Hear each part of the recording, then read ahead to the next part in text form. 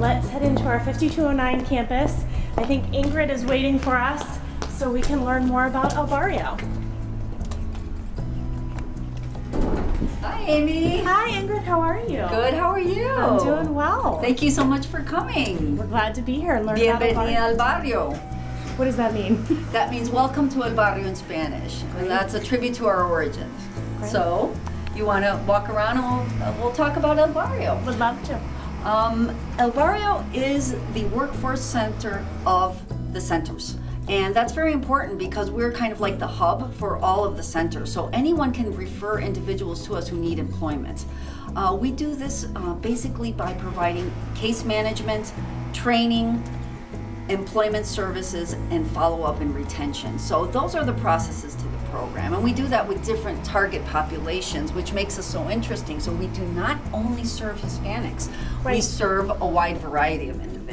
We are one of the two providers in Cuyahoga County that serves refugees for employment.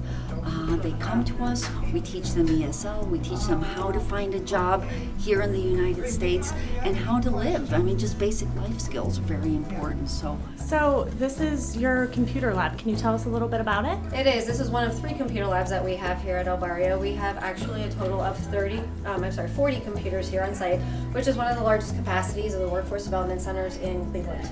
Oh, wow. So, what do the clients do in here? Um, they do everything from learning how to turn on the computer to job searching, interviewing, writing their resumes, um, researching companies before an interview, and um, getting online and basic job search. of all our training programs, the one that uh, makes El Barrio best known is its customer service training program. We have been designated as a best practice model by the National Council of La Raza. We have we provide third-party training, uh, certification training, which, which is extremely important, and we bring together 80 different corporate partners, not only to teach in the program but to hire, and it's primarily around our curriculum here. So I'd like to invite you into our customer service training class. They're working right now, uh, but we have uh, one of our career consultants, Celinette Mujica. Hi there. Hi. So, can you give me an idea of maybe what you're working on right now? Right now, our clients are working with their barriers and how to take action in order to improve those barriers and pass them so they can find employment. Another one of the major accomplishments that El Barrio has managed to have is its retention program. We just started it two years ago, maybe less than two years ago, and just in that time, we've already managed to increase the retention of people who are employed, in some cases up to and more than 300%. That is all due to a very precise and intentional strategy and to people who are very dedicated to doing that, such as Katie First, who was our first uh, retention specialist. And I would imagine that with retention, that's our biggest benchmark for El Barrio.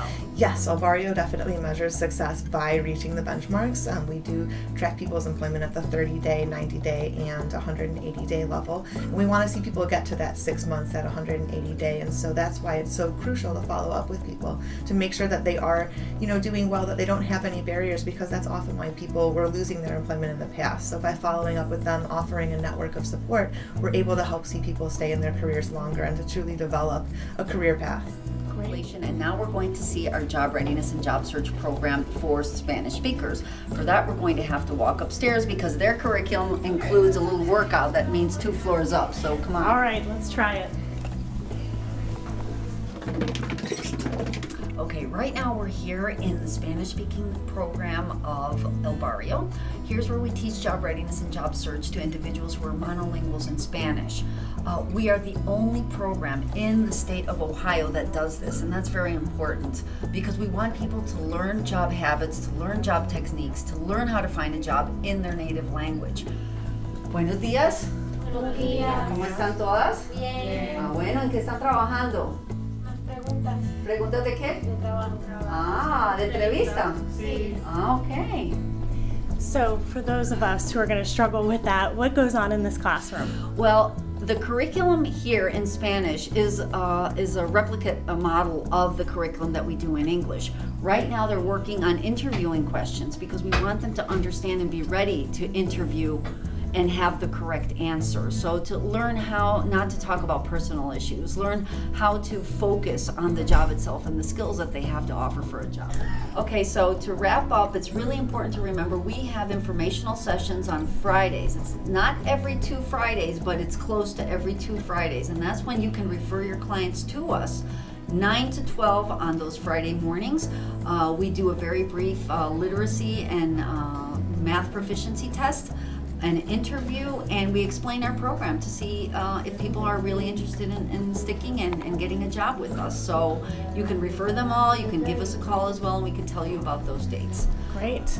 Can you at least let me thank you in Spanish for your time? Can you teach me that? Yeah, sure. Uh, gracias por tu tiempo. Gracias por tu tiempo. That's good enough. I'll work on I'll work on it. Thanks, Okay, Ingrid. Thank you.